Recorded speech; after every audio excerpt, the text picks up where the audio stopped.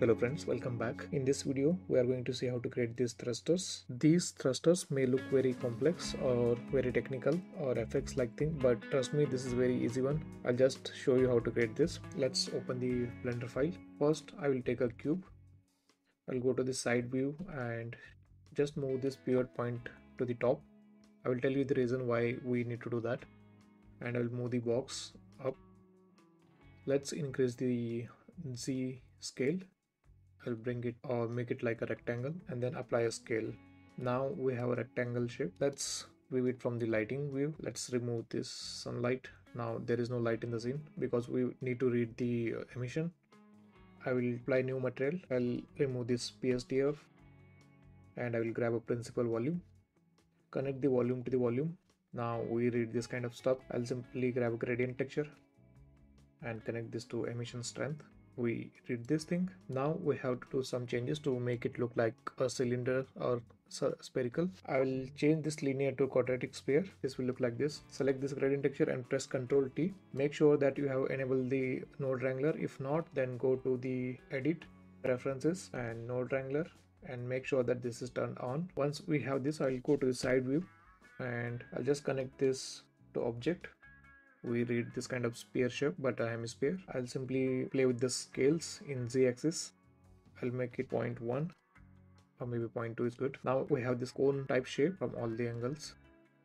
We're reading this black space here. Let's remove that. I'll make the density 0 and we can get rid of that thing. We should do some changes to make it bit transparent, not this solid. I'll grab a color ramp node, connect it in between gradient texture and the principal volume and just drag this white point close to the black point and make it dark. Now I will simply add one more point here and make this point white or somewhat like this. I will just crunch these values a bit to get more of that transparent space. Okay now we have this emission strength. We need to add some color to this thruster. I will take one more color ramp. Connect this to this from the color and I will connect this color to the emission color. Now we don't have because we need to select the color here. I'll pick this white point and make it blue. It's very less so I will just increase the value. Just click to this color tab here and make the values 10. Now we're adding one color so I'll just click to this black point and make it greener so we can get kind of different shading in the in the emission this is very subtle i want to add some noise so i'll simply take a noise texture and take a mix color and just connect it in between this color and the gradient texture. I will grab this color to B. We don't read anything because we need to make the values a bit sharper or contrasty. So I'll just make this values like this.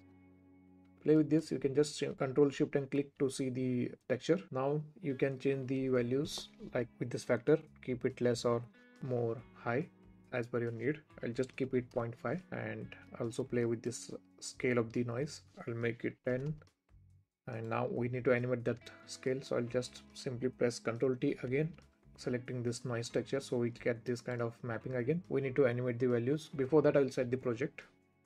I'll make it vertical so I'll keep it 1080 and 1920 and I will use only 100 frames. Go to the first frame, I will make the z values 0 on last frame I will make it negative 5000 and give a key so we have this kind of texture moving now noise texture on the on the thruster let's name it as outer thruster copy this and also name this to this because I need to make a separate folder. We are not going to use only one thruster. We are going to use three thrusters here. One is outer, middle and some heat pass as well. Let's play it and see now this one looks very subtle. It looks good with the noise but we still need to see some more thrust or more power to the emission. To do that we need to animate this box. That's the reason i kept this pivot point on the top area to animate this in a vertical motion. For that go to the first frame. Give a key to this z-axis in a scale parameter. I'll go to the last frame. I will just simply add one more key here. Now go to the graph editor. Go to the modifier tab and select the noise so I forgot to mention one thing. When I created this vibrating effect on the thruster on frame first I made this value 0.1 and give a key. And just in two or three frames my thruster will be on default value which is 1 so I just gave these keys to show that kind of thrusters are getting started now we have this kind of vibrating feel on that box. We're not animating the volume here. We're animating the box. Now we have the outer thruster. I will in the same way we can create the inner thruster as well. So i will create one more folder and call it inner thruster. I'll simply copy it and paste it in the inner thruster and i'll just turn off this for now. I don't want to add any noise to the inner thruster so i'll just remove this noise from it and all the colors. I have removed the color because i want to make it small and just play with the scale first and then apply the color later. So go to the parameters on the mapping. I will simply make this scale bit less somewhat like this and also this let's view it from the 3d space. Now this looks very big. I'll simply add values 1.5 to make it bit smaller and make it look like it's a core energy I'll take a color ramp and now let's add some color like warm color and this to emission color and make this color somewhat like this and keep the values like 10 and also in this I'll add some warmer color. It depends on your project. You can change the color. I'm just keeping this for the inner thrust now. Now we have two thrusters. One is outer and one is inner. Let's play it and see. This also looks good or I'll simply turn it on and move this side so you can see different thrusters. I'll bring it back to the center again. Let's make it 0 in y-axis so it will go back to the center. Let's create one more thruster which is heat or more volume. So I'll create one more tab and call it heat. Let's copy it and paste it inside it.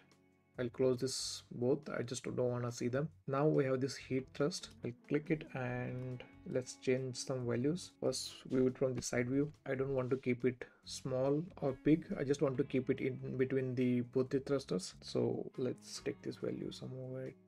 Let's make it like this and also this value I'll keep it 1.1 and in this I'm going to make it a bit brighter. I don't want to keep it transparent. So click to this third point here and make it a bit brighter. So we are reading this kind of hotter feel inside.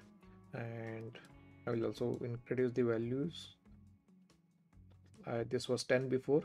I'll just make it 5 to make it less brighter because this is going to be um, heat mat inside the two, two thrusters we can do that in comp. Okay let's see three of them together how they look. Okay we have three thrusters. One is outer inner and the heat kind of thing. We can just play with this thruster in comp. Now they are moving all in one. If you want you can just change the offset of the animation. Like for example if i select this shape and and just offset it so they are not moving in the same timing. Can change the speed as well.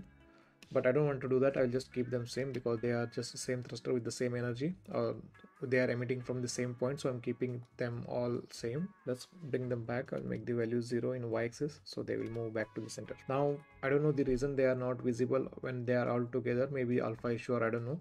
But however I don't want them all together. I want them in separate layers so I will render them one by one. Or I have already explained how to render the layers in blender. You can check out this video. I have a 3d model which is free. I downloaded it from sketchfab I will make it engine I've created this folder and I will keep that object in the engine and I will just go to the origin and I'll make it in the center. Now view it from the top angle. I'll move to the center. Side view. Let's see the lighting view. Let's make it a bit bigger. Now this looks very dark this object but because we don't have any light set up in the scene that's why. So just ignore that for a moment. I want to add some light that should interact with the thruster. So for that I will create a folder and call it thrust light. And I will add a point light here. And move it up inside that funnel. And I will change the values to 500 maybe. That's too bright. Let's keep it less. Okay somewhat like this. And I'll make it warmer or any color. You can change that in comp as well because we have the control for that I'll keep it something like this because that is the inner thrust there that kind of color it has. So I'll just keep it like warmer. Or I can keep it blue as well. You can change that in comp. I'll move it a bit. Let's assume that our energy source is somewhat here. I'll just increase this power a bit. I'll make it 150 and see how that look. Okay. Now make sure that this object or the thruster is connected or parented to this engine because if you have a moving object like spaceship or anything then this thruster should be moving along with this object so for that you can just click this object and then select this and control P to parent this with the engine. So whenever this object is moving with the engine or it has animation, your thruster will be connected to that for all the time. Now this shot is static, so I don't have to connect all that object to this engine. Now in some cases we need to have some matte like gradient matte to adjust the color in comp. For that I will just create one more box here and I will call it mats. To create that mat I have copied one of the thruster and I will remove all of the values that we have added and I'm going to use just the principal BSDF to create that mat. Connected to the object surface. We don't read anything because there is no light in the scene. That's why I'm going to use the emission I'll use a gradient texture again and connect to the strength. We read this kind of thing. I will get the texture coordinates and the mapping. Now we have this kind of effect from the back. We need to rotate it. I'll simply go to these values and i will make it 90 degrees in y-axis. Go to the side view and see. So we are getting this kind of matte here or emission strength. We can use that as a matte i'll take a color ramp and i'll just crunch these values a bit. And you can play with this ease or any options see which one is good. I'll just keep it like this add one more and make it a bit less bright so we can get more gradient effect. And I can use this as a mat. Make sure that this mat is also connected to this object so that this mat will be moving along with this. Like for example I just connect it. And if my object is moving our mat is also moving with the object. So till now we have this matte we have this inner thruster we have this heat thruster and we have this outer thruster. We are going to render this in separate layers. So that was the basic idea of creating thrusters. Using that met method i just created this scene using the assets that i have. I wanted to show my shot in an interesting way. That's the reason i just made this whole setup and added a camera here and then just created one scene simple scene like some experiment or science lab or something. And have added that thruster to this object and this is what I got here. So this is my file with the thrusters. I have made this video only to show the thrusters. This is like additional part I have made to make it more interesting. So now we can jump to the nuke to see how to compile that renders in nuke. Now I have this renders in nuke. Let me show you the renders. This layer is an interior. The whole scene or setup is in one layer I just reduced that color of the point light to white because I thought of making that changes in Nuke because I can control it in Nuke. So I did not keep it warmer, I just made it neutral. And I have these three thruster separate layers. I just kept it blue or you can change that color in comp and one is outer and one is inner layer. Now you can see that inner layer has two cores. We can simply create that in Blender. I'll just show you how to create that.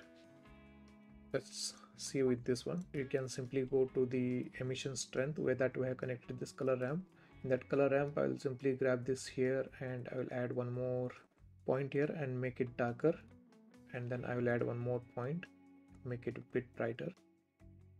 And also change this to bright or something so we'll get more different variations. And then you can change with the scale or just keep playing around this and this is like until you get some kind of desired look you can just keep playing with the with the gradient values and then you can get this kind of shapes. Now let's go back to the nuke. You can see there are there is a bit color change as well. It looks more magenta because i kept it like that. Now compiling these three layers is really easy. I can just take one by one. I'll take the inner thrust first.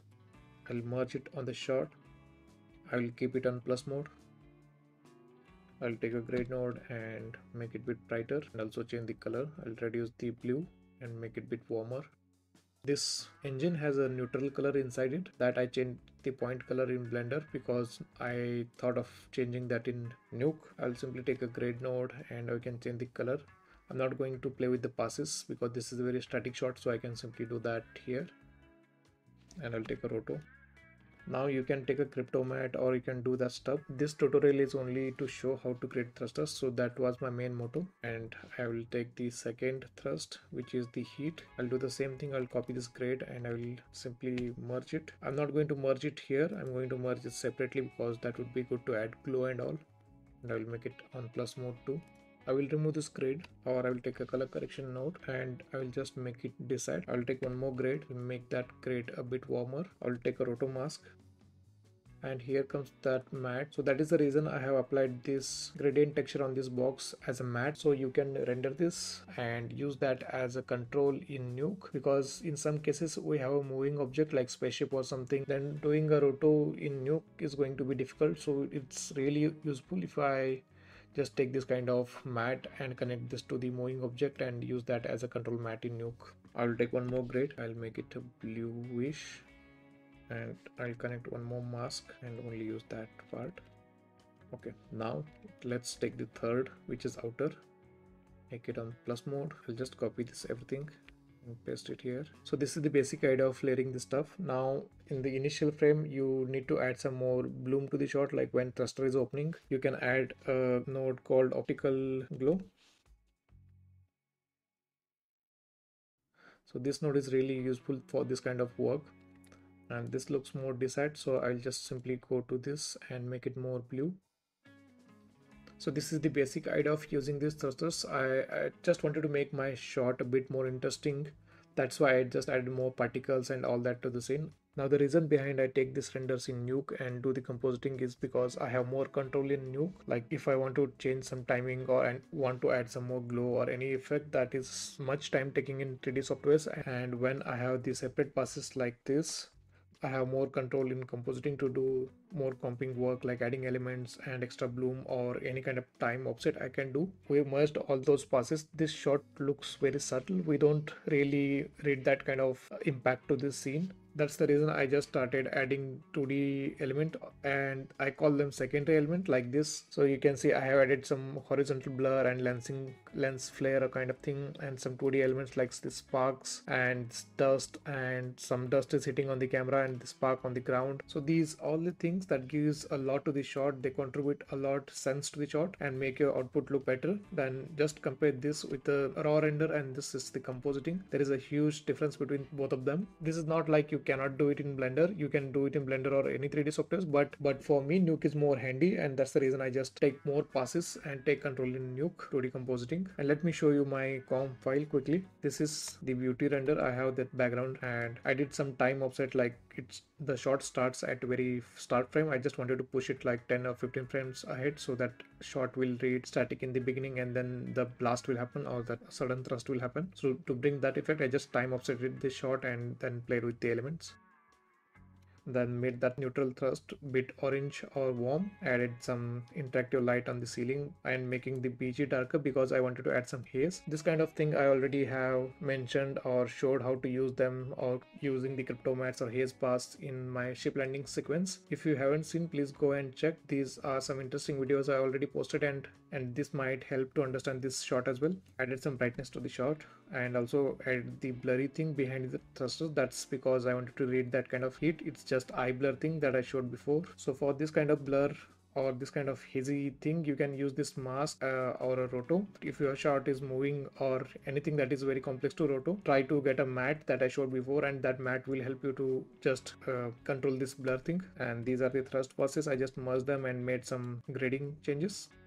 and added this kind of vertical blur in between like this can give a more like bloom kind of effect and added the heat edge instead of adding this roto for the control you can use that cg mask or that mask we created in blender that can help here too. And more particles kind of thing. These are the blender particles and some more bloom and 2d elements like smoke or this kind of additional ground dust there are a few important thing in the shot but one of them is like this exposure. This is the exposure i used to brighten up the whole shot. Like on this frame shot is less bright or neutral. Like if this if i see the values this is zero. And as the thruster starts i made this exposure level high to get that kind of sudden bloom in the scene and just animated that thing. So this is helping to bring that kind of sudden visual impact in the scene. And then the second important thing is this camera shake. I have added this camera shake when the thrust happens. So i, I was just seeing some references and all the references have that kind of camera shake. So i just use that and then few comping stuff like adding chromatic aberration